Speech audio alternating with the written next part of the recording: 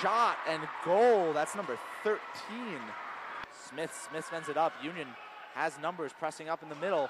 Uh, some good skating. We got a shot off, and that's a goal for Union. Number 19. Mag no call here, Davidson. Fighting for the puck along with Bork. Attempt at a centering pass, blocked by Matsukis, but another shot. That one chipped up. Friday skating around, passes it backwards, shot. Davidson in the middle, Walsh able to chip that one in for another goal off the rebound of a Davidson shot.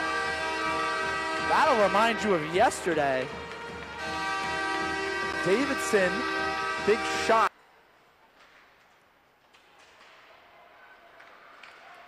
Adams puts it in front, and that's a goal. Ashley Adams, I believe, from behind the cage, puts it in front, and then a shot and a goal. That's Borgel going to the net, sends it inside, and that's a shot and a goal for Serum. Not saved by Matsukas. Union has an opportunity. Moving down the ice is Leaney. Two goals already today. Has a one-on-one with the goalie. And she'll put this one in for the win. Maddie Leaney with a hat trick to win the game. Two hat tricks after not having one for over 10 years.